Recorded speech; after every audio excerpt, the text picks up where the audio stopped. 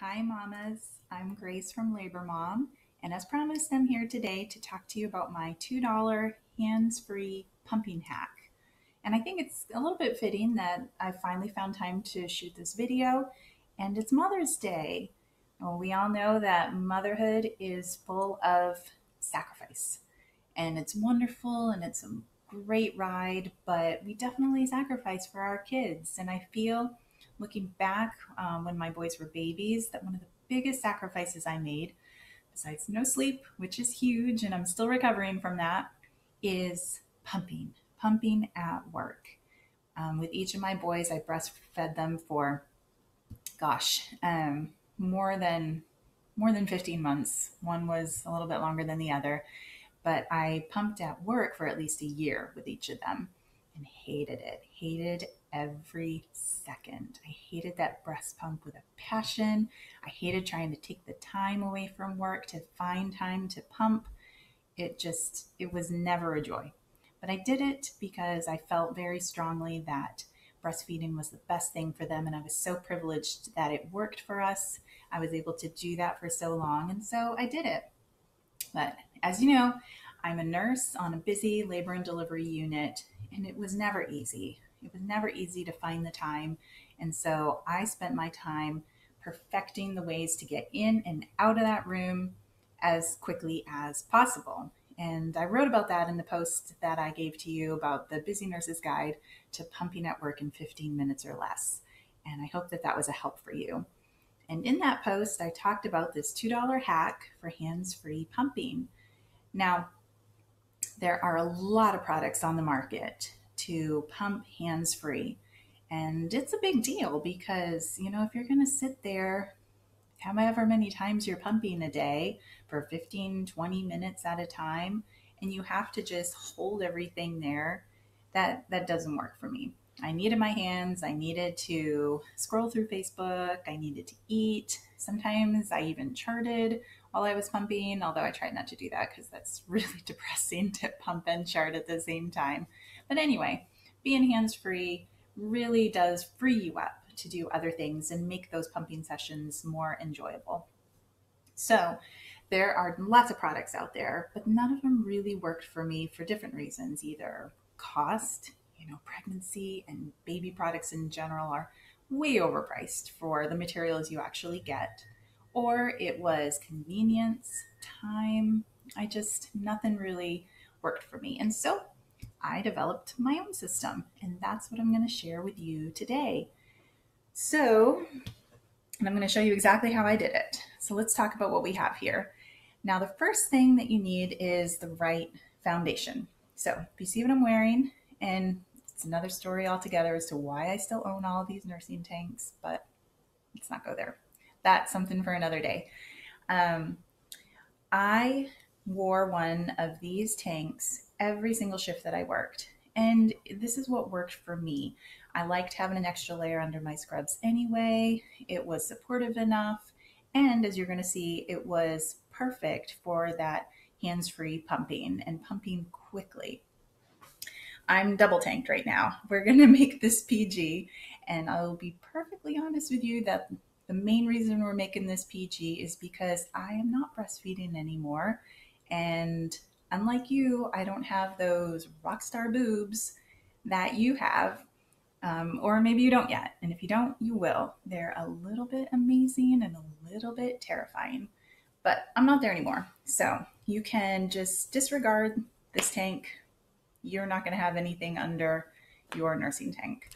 So what was important for me in choosing what I wore to work to make things easy for pumping was this style of tank. And I really looked for it. I don't think that this particular tank they're making anymore. I got it at Target and I just couldn't find it because um, I wanted to link to it for you so that you could get it as well. Um, I did find some similar ones that if you look at the blog post that I'll link to. But the key is because, you know, other places make them, and you can either do this as a bra or a tank I liked the tank, it was comfortable for me, but definitely you could use a nursing bra. But what was key was that the style. You see how it crosses over here in the front. Um, and this was important. I'm doing this all backwards because um, this is a video and it's weird for me. um, it crosses over in the front. And why this is important is because other styles of tanks, like the one I'm wearing under here, you know, where it clips, it comes down. The problem with that, and it works, I've used it before.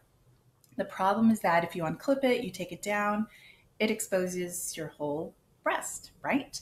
Well, there's nothing really to hold the pump parts in. This style is great because you just kind of pull it aside and it's still there. It's still kind of snug and it just uncovers your breast that way. So that was key for my hands-free pumping hack, which you'll see in a minute. Okay, so we have our breast pumps. Um, oh, and another note here. What is this on here? I talked about in my um, post about pumping at work is that I found this amazing system that saves so much time, so much hassle, both for me in the pumping part of it and for my husband in the feeding it to the babies part of it. And it's called the Kiinde system, K I I N D E. You can get it on Amazon. I've seen it at Target. But the brilliance of this is that you take your pump, whatever kind of pump you have, this is one of the Medela pumps. Um, you take whatever pump you have, you get this Kiinde system, and it comes with adapters. So for whatever pump you have, and it, it's compatible with a lot of different brands, you find the adapter that works, and then you screw it onto your pump part, and then you take their breastfeeding bags, their breast milk bags, and these are safe to go from pumping to the fridge, to the freezer. And then it even comes with a warmer that doesn't really heat the milk, but you put it, it, it I'm not even saying this correctly. Um, you put it in water and it just circulates warm water around it to gently and safely thaw and heat up the breast milk so that it doesn't, you know, ruin the protein particles, molecules, and break down the structure of the breast milk. It's safe for it. Anyway, so, but on this end of it, it was amazingly simple for me because I would just put this adapter on my pump. I would unscrew this. It screws right on. And then you pump directly into the bag. And not only does this save you time, it saves you um, it's clean, it's sanitary. You're not pouring breast milk from one container to another. And it can save milk too, because I don't know about you, but I sure have spilled a lot of breast milk in trying to transfer from one container to another. And there's nothing more devastating than that, all of that hard work that you put into it. So you can pump directly into this. And then when you're done, all you do is you unscrew it, you put the cover back on, taking out the air if you need to, what I would do is I would take a Sharpie, I would write the date right on the end of the cap so that if I had it stuck into the freezer like this, lying down and freezing, I could easily see what date I pumped that on. Brilliant. So I have, you have your pump parts and however you do it, you may have bottles on the end of it, whatever you've decided to do. Let me get the other one set up. And you're set to pump.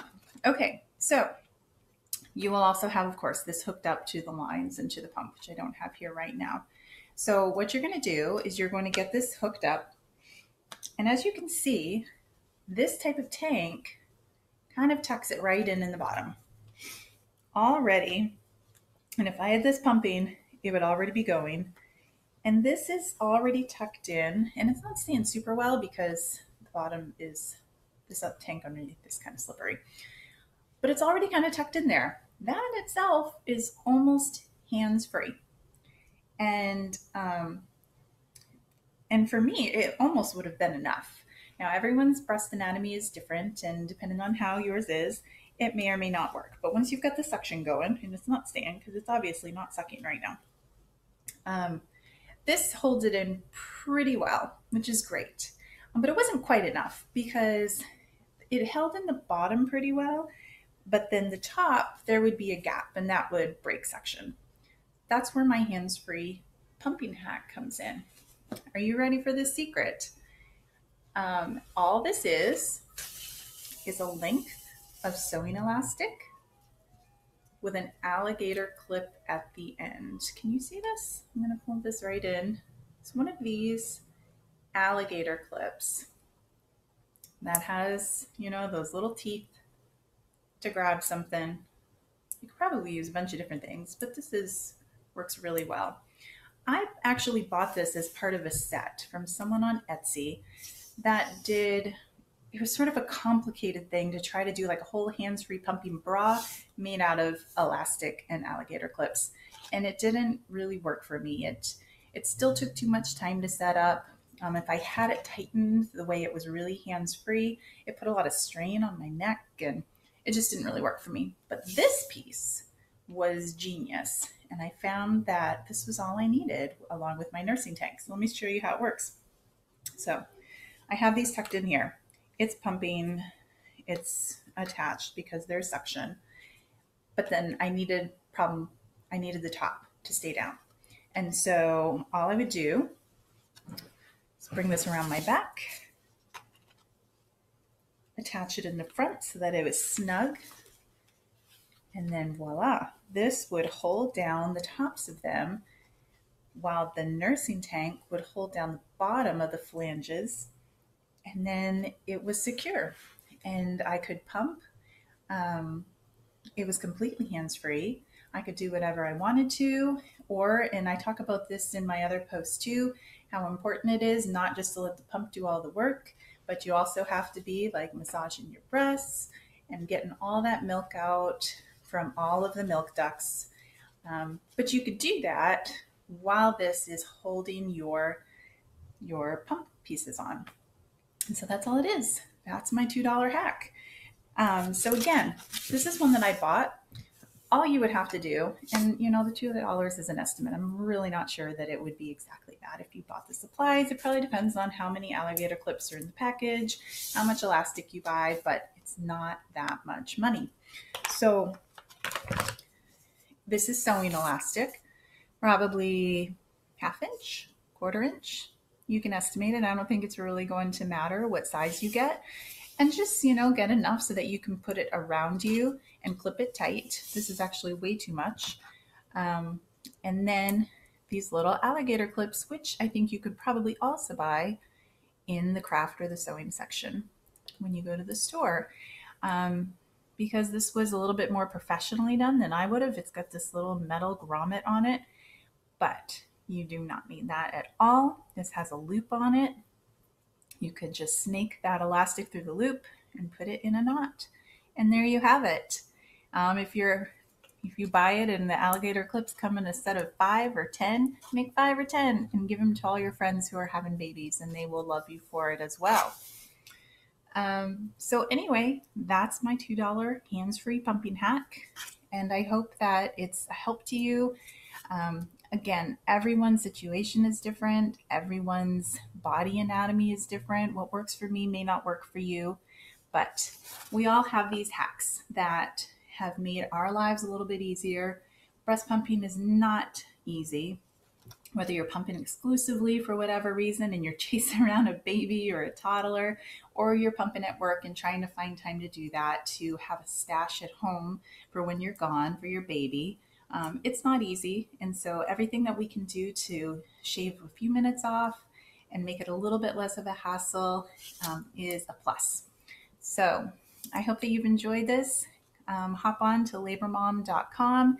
Let me know what you think, and you guys have a great day. Bye.